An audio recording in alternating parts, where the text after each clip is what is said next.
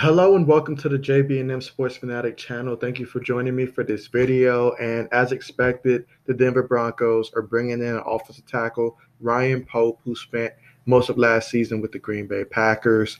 And they're bringing him in to come in and add some depth to a much needed position that the Broncos definitely needed more offensive tackles, well, more linemen, especially after Ja'Wuan James got injured away from the team facility. And it's looking like he's going to be missing the season um, once again, in which they really haven't gotten much from him since he signed with the team a couple years ago, coming over from the Dolphins. So they needed to add, you know, more depth. And this was a depth signing here. They're still going to be looking to bring in another offensive tackle with the hopes of starting that offensive tackle as Ryan Pope would just be brought on more so as just to add more depth. So that's important to note as well that this is more of a depth type of signing.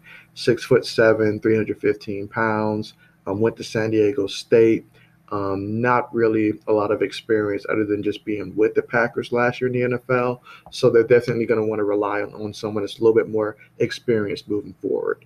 And some of the options that this may consist of they do have some additional workouts that are scheduled for Wednesday with veteran tackles, including um, Dennis Kelly, Cam Fleming, and Bobby Massie, per um, Tom Pelissero. So, yeah, um, they're definitely going to be bringing in some more tackles with the hopes of perhaps bringing in someone that can come in and start as Ryan Pope is just to add more depth. So, but yeah, excited to see, you know, how that's going to turn out. Which one of these offensive tackles are they going to go with?